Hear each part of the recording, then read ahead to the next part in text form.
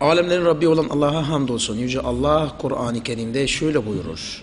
وَقُلْ اَعْمَلُوا فَسَيَرَ اللّٰهُ وَقُلْ اَعْمَلُوا فَسَيَرَ اللّٰهُ عَمَلَكُمْ وَرَسُولُهُ وَالْمُؤْمِنُونَ وَسَتُرَدُّونَ إِلَى عَالِمِ الْغَيْبِ وَالشَّهَادَةِ فَيُنَبِّئُكُمْ بِمَا كُنْتُمْ تَعْمَلُونَ De ki istediğinizi işleyin. Allah peygamberi ve müminler işlediklerinizi görecektir. Hepiniz görülmeyeni ve görüleni bilen Allah'a döndürüleceksiniz. O size işlediklerinizi bildirecektir. Şehadet ederiz ki bir tek Allah'tan başka ilah yoktur. Onun ortayı da yoktur. Yine şehadet ederiz ki Muhammed Allah'ın kulu ve elçisidir. Salat ve selam Peygamberimiz Muhammed üzerine, ailesi ve ashabinin üzerine olsun. Allah Teala tabiatı yönetecek kanunlar ve onun hareketini ayarlayacak kurallar koymuştur.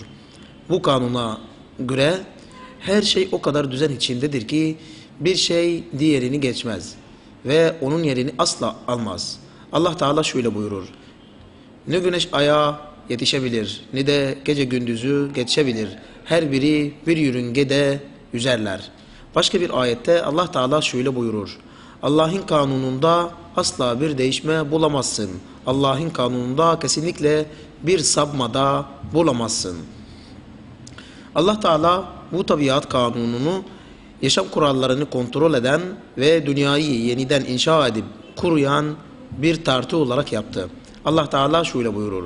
Sizi yeryüzünde yaratıp orayı imar etmenizi dileyen O'dur. Yine de Allah Teala şöyle buyurur. Düzeltilmişken yeryüzünde bozgunculuk yapmayın. Hiç şüphe yok ki bu ilahi kanunun gerçeğini idrak eden ve ona sarılan ümmet Müslüman olmasa ve hatta hiçbir dinde olmasa bile gelişir. Çünkü bu kanun kimseyi taraf tutmayıp bir yaratığa, bir yaratığa iltifat etmez. Allah'ın kainattaki, Allah'ın kainattaki kanunlarından sebeplere sarılmaktır. Allah Teala sebepleri ve sebepleyicilerini de yaratıp bizim bu sebeplere sarılmamızı emretti. Sebepler bulunduğunda sonuçlar da bulunur. Bu her zaman ve her yerde tüm evrende hüküm süren genel bir kanundur. Bilindiği gibi her şeyin sebebi vardır. Mesela ateş, yanma sebebi, öldürmek, ölüm sebebi, toprak sürmek ve tohum atmak da bitki sebebi, yemek tokluk sebebi, gayret ve çalışkanlık başarının sebebi, tembellik ve ihmal da başarısızlığın sebebidir. Yeryüzünde yürüyüp çalışmak dini ve milli bir görevdir. Allah Teala şöyle buyurur. Yeryüzünü size boyun eğdiren, boyun eğdiren odur. Şu halde yerin omuzlarında dolaşın ve Allah'ın rızkından yiyin. Dönüş ancak onadır. Başka bir ayette de Allah Teala şöyle buyurur. Namaz kılınınca artık yeryüzüne dağılın ve Allah'ın lütfundan isteyin. Allah'ı çok zikredin. Umulur ki kurtuluşa erersiniz. Bu İslam dinindeki gayret, çalışma ve yeryüzünün, yeryüzünün yeniden inşası kavramıdır. Dolayısıyla dinle hiçbir ilgisi olmayan herhangi bir çağrıya inanmamızın neticesinde gerilememizin nedeni bellidir. Bu çağrılar ancak durgunluk, tembellik ve geri kalmışlıktan ibarettir. Peygamberlerin ve salihlerin hayatlarını inceleyen kişi, onların tüm hayat işlerinde sebeplere sarıldıklarını ve çok çabaladıklarını öğrenir. İşte kavmini Allah'ın ibadetine uzun müddet çağıran Hazreti Nuh aleyhisselam bir maranguz idi. Yüce Allah ona gemi yapma emrini vererek şöyle buyurur. Gözetmemiz altında ve vahimize göre gemi yap. Zulmedenler hakkında bana bir şey söyleme. Çünkü onlar suda boğulacaklardır. Aslında Allah Teala kendi kudretiyle sebepsiz veya eylemsiz olarak onu kurtarabilirdi. Ama Allah bize sebeplere sarılmanın gerektiğini öğretmek istedi. Hazreti Nuh Yüce Rabbinin emrini yerine getirerek gemiyi imal etmeye başladı. Kavmi, onun kavmi ona alay ederlerdi ama buna rağmen pes etmeyip işine devam etti. Bunun için Allah Teala ona ve kavminden iman edenlere mukafat verdi. Allah Teala şöyle buyurur. Nuh gemiyi yapıyordu. Kavminden ileri gelenler her ne zaman yanında yanına uğrasalar onunla alay ediyorlardı. Dedi ki bizimle alay ediyorsanız sizin bizimle alay ettiğiniz gibi biz de sizinle alay edeceğiz. Hazreti Davud aleyhisselam bir demirciydi. Ona ve insanlara fayda sağlayan bu mesleği Allah Teala öğretti. Allah Teala şöyle buyurur. Andolsun Davud'a tarafımızdan bir üstünlük verdik. Ey dağlar ve kuşlar! Onunla beraber tesbih edin dedik. Ona demiri yumuşattık. Geniş zırhlar imal et. Dokunmasını ölçülü yap. Ey Davud hanedanı! İyi işler yapın. Kuşkusuz ben yaptıklarınızı görmekteyim diye vahyettik. Bu bağlamda Peygamber Efendimiz sallallahu aleyhi ve sellem buyurdu ki hiçbir kimse asla kendi kazancından daha hayırlı bir rızık yememiştir. Allah'ın peygamberi Davud aleyhisselam da kendi elinin emeğini yerdi buyurdu. Diğer bir hadiste kendi elinin emeğini yiyip geceleyen kimse günahları affedilir. Allah'ın peygamberi Hazreti Yusuf aleyhisselam hikayesinde sebeplere sarılma ve sıkı planlamanın ülkenin ölümcül kıtlıktan ve büyük bir tehlikeden kurtulmasına bir neden idi. Hazreti Yusuf ülkeyi büyük kıtlıktan korumak için özenle hesaplanmış bir plan hazırladı. Ardından da refah, bulluk, koruma ve ekonomik güç gerçekleşti. İnsanlar Mısır'ın hayırlarından faydalanmak için her yerden geliyordu. Kur'an-ı Kerim'de Hazreti Yusuf'un dilinde dilinden şöyle ifade edilir. Yusuf dedi ki yedi sene adetiniz üzere ekin ekersiniz. Sonra da yiyeceklerinizden az bir miktar hariç biçtiklerinizi baş ayında stok edip bırakınız.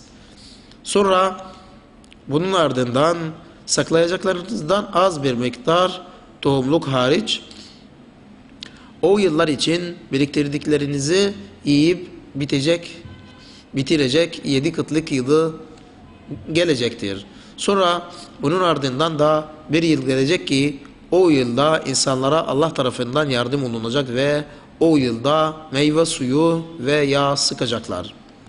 Allah tarafından rızık verilen Hazreti Meryem'in durumundan dehşet kalan dehşette kalan Hazreti Zekeriya hakkında Kur'an-ı Kerim'de şöyle buyurulur. Zekeriya'yı Zekeriya'yı da onun bakımıyla görevlendirdi. Zekeriya onun yanına mabede her girişinde her girişinde orada bir rızık bulur ve ey Meryem bu sana nereden geliyor der. O da bu Allah tarafındandır. Allah dilediğine sayısız rızık verir derdi. Başka bir durumda Hazreti Meryem'in güçsüzlüğüne rağmen Allah onun kendi özeline taze ve ulgun hurma dökülsün diye hurma dalını kendine doğru silkelemeyi emretti. Aslında Allah dileseydi ağaç sallanmadan da hurma düşerdi. Fakat Yüce Allah gayret göstermeyi ve sebeplere sarılmayı öğretir. Allah Teala şöyle buyurur Hazreti Meryem'e Hurma dalını kendine doğru silkele ki üzerine taze olgun hurma dökülsün. Bu konuda şair şöyle demiştir. Ey insanoğlu her konuda Rahman'a dayan. İstemek için bir gün aciz olma. Allah Meryem'e hurma dalını kendine doğru silkele ki üzerine taze olgun hurma dökülsün dediğini görmedin mi? Allah dileseydi ağaç sallanmadan da hurma düşerdi. Ama her şeyin sebebi vardır. Peygamber Efendimiz sallallahu aleyhi ve sellem mübarek hicretin yolculuk olayında sebeplere sarılmak konusunda bize örnek verdi. Hazreti Peygamber ümmetine dikkatli bir şekilde planlamanın başarmak ve kerizlerin üstün, üstesinden gelmek için gerekli olduğunu öğretti. Halbuki iki deve hazırlayıp Yol arkadaşı olarak Sıddık Abu Bakır'ı seçtikten sonra harekete geçmek için uygun zaman ve makan belirledi. Geceleyin Abu Bakır'ın evinden yolculuğa çıktı.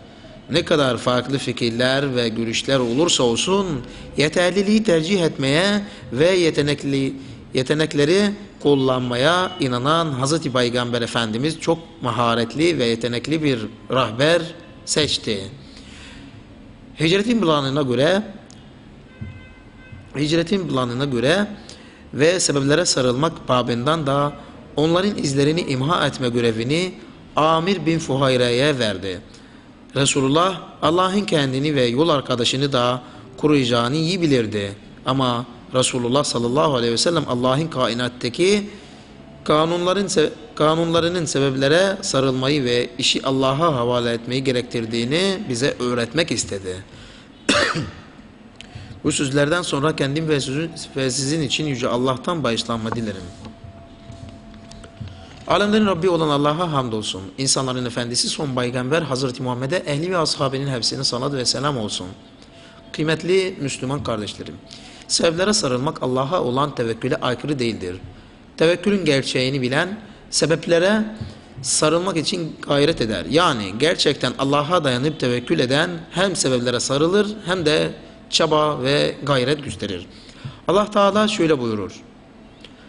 Ey Rabbimiz ancak sana kulluk ederiz ve yalnız senden medet umarız.